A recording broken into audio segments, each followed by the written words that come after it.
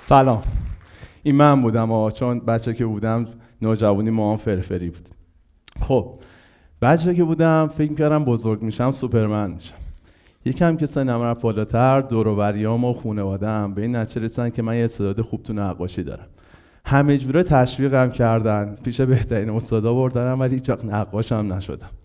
بعد از اونجا که مادرم خیلی دوست داشتش که من حتما هنرمند بشم برام پیانو تهیه کردن. کلی تشویقم کردن که تو می‌تونی یه موزیسین خیلی خوب بشی. پیش بهترین استادا دوباره بردنم ولی بازم پیانیستم نشدم یکم دیگه سنم رفت بالاتر دیگه موقع درس خوندم. بود گفتن دیگه حداقل برو دانشگاه خوب یه درس خوب بخون. هر چقدر می‌شد برام معلم خصوصی گرفتن. همه کلاس های کمک آموزشی رو رفتم ولی اتفاقا نه رشته خاصی قبول شدم نه دانشگاه خاصی. تو درسم واقعا به جای خاصی نرسیدم. دیگه باز یکم سنم رفته بود بالاتر. بعد می‌رفتم سراغ کار دیگه رفتم سراغ business خانوادگی. دیدم اصلا نه جای منه نه کار منه اونم ازش اومدم بیرون. به یه نتیجه خیلی مهم رسیدم. اونم این بودش که من اصلا هیچ استعداد خاصی ندارم.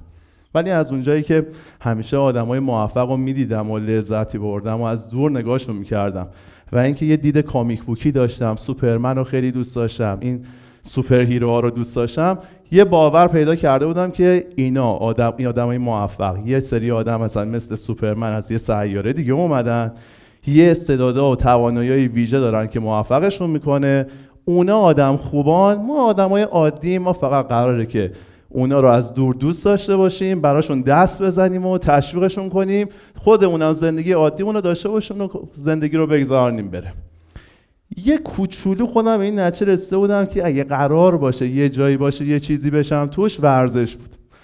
اون زمان همه همسن و سالای من تحت تاثیر مایکل جوردن قرار داشتن. گفتم میرم بسکتبال و موفق بشم. اصلا من برای بسکتبال ساخته نشده بودم. رفتم سراغ بسکتبال. آخرین خاطره که دارم خیلی محترمانه از سیم اخراجم کردن. خیلی دلم شکست. که تو اون حال و هوای نوجوانیم گفتم که اگه من پرشای بهتری داشتم می‌تونستم بیشتر به چشم بیام. میرم باشگاه بدنسازی پاهامو قوی می‌کنم اینقدر میپرم تا ببینن چقدر بازیم خوبه. رفتم باشگاه بدنسازی گفتم اصلا جای من اینجا بوده. از روز اول باید میمادم همینجا. اینقدر اونجا رو دوست داشتم گفتم که میرم قهرمان بدنسازی میشم. اتفاقا اینم نشدم. هیچ وقت قهرمان نشدم. خیلی هم دوست داشتم بشم هیچ وقت نشدم. ولی اونجا رو خیلی دوست داشتم. یه اتفاقای جالبی توی باشگاه بدنسازی داشت برای من میافتاد. من اصلا هیچ وقت دوستای زیادی نداشتم. ولی می‌دیدم که اصلا با کسی زیاد حرف نمی‌زدم. می‌دیدم که یه عالمه دوست خوب دارم دارم باهاشون گپ می‌زنم دارم باهاشون معاشرت می‌کنم. اصلا این ساعتایی که تو باشگاه همش دوست دارم برم باشگاه. می‌خوام تمام روز بگذره برسه اون زمانی که من ورزش می‌کنم. گفتم حالا که اینطور شد شغلم هم تو همین زمینه انتخاب می‌کنم. رفتم پیش خانوادم گفتم که من می‌خوام باشگاه بدنسازی بزنم. مادرم نگاه که گفت تو قرار بود هنرمند بشی باشگاه بدنسازی چیه دیگه؟ بعد بگم آقا باشگاه بدنسازی اون موقع با باشگاه بدنسازی الان یکم حال و هواش هم فرق داشت. تصورتون رو ببرین مثلا برای سال 80 بابا من گفتم می‌خوام کار کنم گفت بله باید کار کنی بیا سر کار بیا سر یه در مغازه. خودم من می‌خوام باشگاه بزنم. گفت باشگاه؟ من نخوام پسرم از این کارا بکنه کیو باید ببینم؟ خلاصه نه دلشون بوده که خیلی بخوان تشویقم بکنن مثل موردهای قبلی. نه اینکه یه اتفاقات عجیب غریب و خیلی ناگواری تو دوران تو زندگیمون افتاد که اصلا خوب نبود و اگر کسی هم می‌خواست کمکم بکنه اصلا نمی‌تونست کمکم بکنه. تصمیمم گرفته بودم گفتم میرم باشه بدنسازی رو می‌زنم. هیچی هم نداشتم ساپورت هم نداشتم هیچی وجود نداشت و رفت بودم این کار رو انجام بدم. از اینجا بعدش فقط یه چیز یادم میاد. گرفتاری سختی از صبح تا شب تلاش کردن. میدویدیم و میدویدیم و میدویدیم و اتفاقات جالبی داشت میافتاد. من اصلا هیچ استعداد خاصی نداشتم ولی کم کم می‌دیدم که اه یه فکرهای جالبی داره به ذهنم می‌رسه. اصلا دارم تو خودم کم کم خلاقیت می‌بینم. من واقعا هیچ کاری بلد نبودم. ولی کم کم میدم اصلا دلم می‌خواد برم یه سری مهارت ها رو یاد بگیرم واسه که تو کارم موفق تر باشم. دوست خاصی نداشتم ولی میدم یه آدم دوست خوب دارم الان دورور خودم که با هم هم مسیریم هم هدفیم.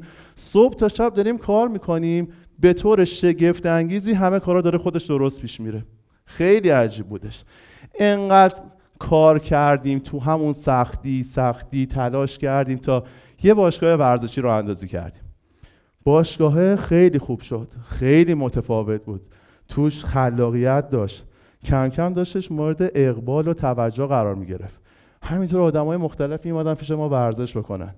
یه عالمه آدم بودن که ما از زور میدیدیمشون و احساس می‌کردیم اینا با ما خیلی فرق دارن.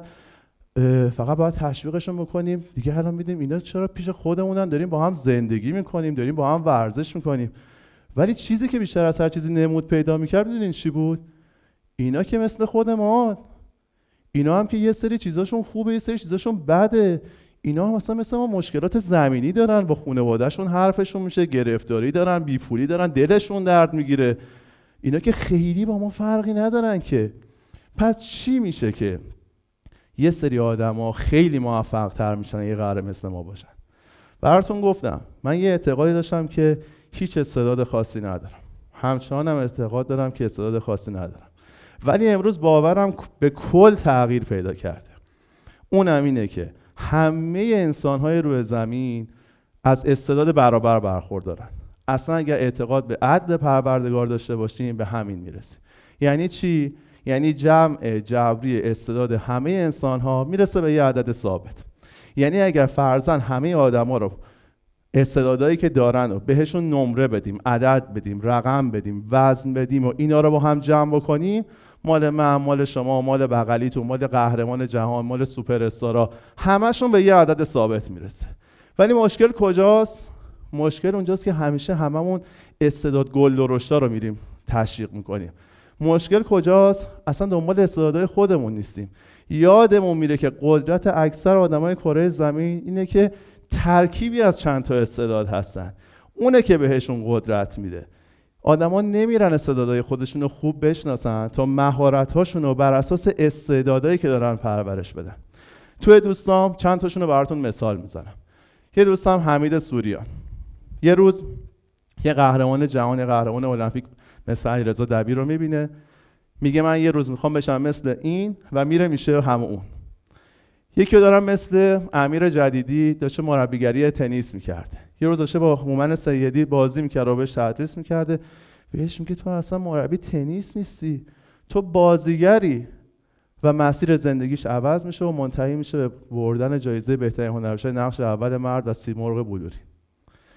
مشکل اونجا به وجود میاد که خودمون رو دست شانس و اقبال و تصمیم دوروبریامون میسپاریم. اگر کسی دنبال اینه که بخواد موفق بشه اولین قدمش اینه که خودش رو خوب بشناسه. به صورت واقعی استعداداش رو بشناسه و تو مسیر استعداداش حرکت بکنه و خودش رو رشد بده و مهارت کسب بکنه. حالا می‌تونیم دو نفر داشته باشیم. دو تا آدم با استعدادهای کاملا مساوی. دو تا آدم که فرزن هر دوشون آدمای خوش صدایی باشن. یکیشون میره خواننده پاپ میشه یکیشون می‌تونه بره مداح شه. هر دوشون خوش صدا دارن از صدای خودشون استفاده می‌کنن. ولی این دوتا اگه جاشون رو با هم عوض کنی بازم به موفقیت نمی‌رسن. آدما بر اساس باوراشون و بر اساس ارزشهاشون باید استعداداشون رو حرکت بدن. می‌دونین؟ ارزش ها مثل خاک حاصلخیزه که اون دونه استعداد توش قرار میدن و به رشد و تکامل می‌رسه و نمو پیدا می‌کنه. آدما باید ارزش های خودشون رو خوب بشناسن. تو این ارزش ها چیه؟ ارزش ها دقیقا همون چیزایی که تو بقیه تحسین می‌کنیم مهم نیست دور برمون باشن. مهم نیست تو مسیر تاریخ باشن. سعدی باشه حافظ باشه گاندی باشه مایکل جردن باشه امام خمینی باشه.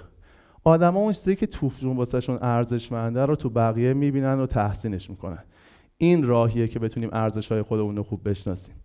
و در مورد استعداد یه چیز رو فراموش نکنیم. همیشه تو زندگیمون هر چیزی که بهمون آسون دادن ازش گذشتیم. چون استعدادهای موهبت الهی هستش زیاد بهش دقت نمی‌کنیم. این دوتا رو باید خیلی خیلی خیلی بهش دقت بکنیم. می‌دونین هر تعریفی از موفقیت برای آدما وجود داشته باشه. یکی دوست داره ثروت داشته باشه. یکی دوست داره آدم موثری باشه. یکی دوست داره حالش با زندگی خوب باشه. هر تعریفی که واسش وجود داشته باشه زمانی اتفاق میفته که این استعدادها و این ارزش ها با هم هم مسیر باشن و توی مسیر حرکت بکنن. حالا که این دوتا رو دونستیم اگه قرار باشه یکی آدم موفقی بشه مورد بعدیش چیه؟ وقتی این دوتا رو فهمیدیم تازه اول راه و مشکلاته. وارد فضایی میشی تعداد بیشماری آدم وجود دارن که به همون وضعیت رسیدن. خودشون رو کشف کردن ارزشاشون رو می‌دونن چیه استعدادشون رو می‌دونن چیه کنار شما وایستادن و باید تازه بین اونا خودتون رو نشون بدین و بکشین بالا. چطوری میشه که آدم به موفقیت می‌رسن؟